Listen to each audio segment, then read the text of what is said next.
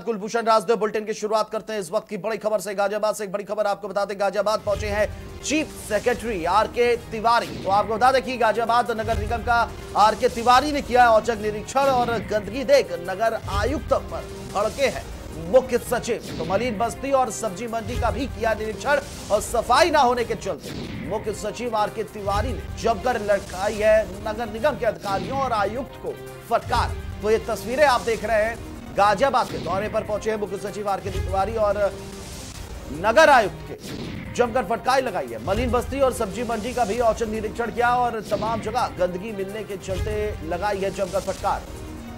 ज़्यादा जानकारी के साथ हमारे संवाददाता गाजियाबाद से सोनू खान हमसे जुड़े हैं। सोनू, जिस प्रकार से औचक निरीक्षण किया है, चीफ सेक्रेटरी ने फटकार जमकर लगाई है। क्या कुछ ज़्यादा जानकारी मिल पा रही है इस खबर के लिहाज से?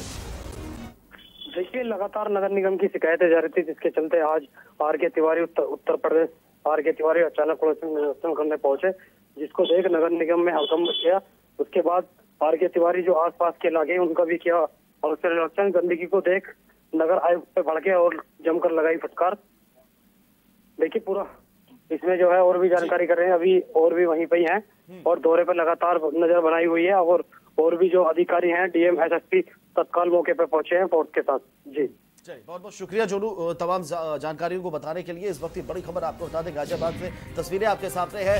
गाजियाबाद का औचक निरीक्षण किया है और सब्ज़ी मंडी मलिन बस्ती का भी निरीक्षण किया है। आर के तिवारी मुख्य सचिव है, उत्तर प्रदेश सरकार के और गंदगी का मार देखकर भड़क उठे हैं। और आपको बता दें, मुख्य सचिव ने गंदगी देख नगर आयुक्त को पर लगाई जमकर फटकार।